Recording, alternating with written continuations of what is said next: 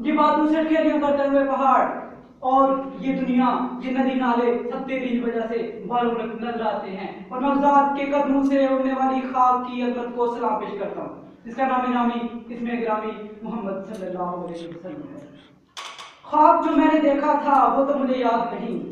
خواب جو میں نے دیکھا تھا وہ تو مجھے یاد نہیں۔ بیان خواب کی تعبیر کر رہا ہوں میں۔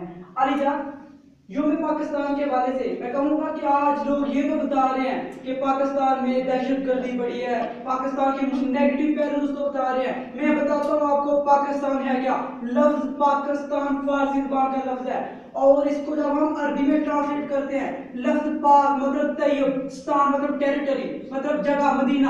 اس کو عربی میں ٹرانسلیٹ کریں مدینہ ثانی یا مدینہ طیبہ۔ تو اس کو اس کے اوپر اللہ اور اللہ کے رسول کا خاص اور خاص کرم ہے۔ اگر کرم نہ ہوتا تو آج پاکستان یوں نہ ہوتا۔ ہر شخص اس پاکستان کو لوٹنا چاہتا ہے۔ ہر شخص اس پاکستان کو نقصان پہنچانا چاہتا ہے۔ لیکن اگر آج بھی پاکستان کھڑا ہے اور پہلے سے زیادہ طاقت کے ساتھ کھڑا ہے تو میں کہتا ہوں کہ اللہ کی نشانیوں میں سے ایک نشانی ہے۔ میں کہتا ہوں کہ کشتی نو ہے۔ میں کہتا ہوں کہ یہ صالح علیہ السلام کی اونٹنی ہے۔ جس نے اس کو نقصان پہنچایا تو بہت برباد کر دیا گیا۔ یہ اللہ کے رازوں میں سے ایک راز ہے۔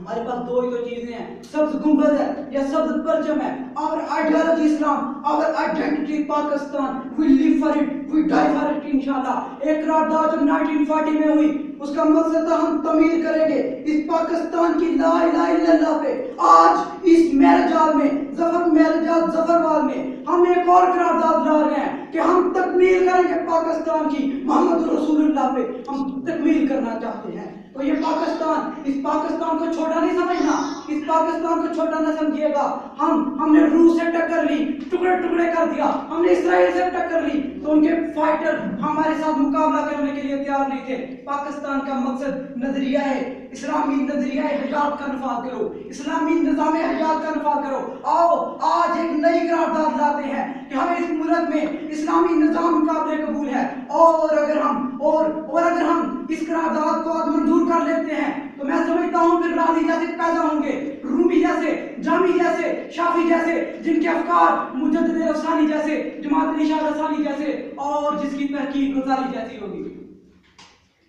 پاکستان بڑی قربانیوں سے بنا۔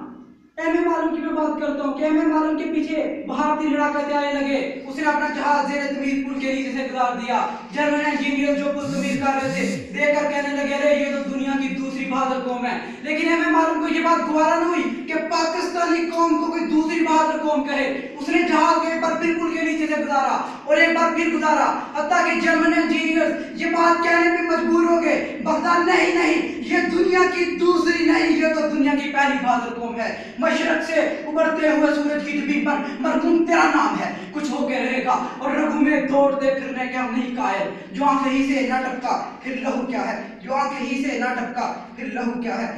علی پاکستانی قوم تو وہ قوم ہے، جب یہ فیصلہ کر لیتی ہے کہ ہمیں یہ کام کرنا ہے، تو پھر سمندروں کی گہرائی سے، پھر پہاڑوں کی بلندی سے، پھر صحراؤں کی وسعت سے، پھر گرمی کی حدت سے، پھر ہواؤں کی شدت سے فرق نہیں پڑنے والا۔ پھر ہم طوفانوں کے رخ بدل سکتے ہیں، پھر ہم سمندروں کے رخ بدل سکتے ہیں، پھر ہم پہاڑوں سے ٹکرا سکتے ہیں۔ کیونکہ ہمارے اندر وہ عزم ہے، جس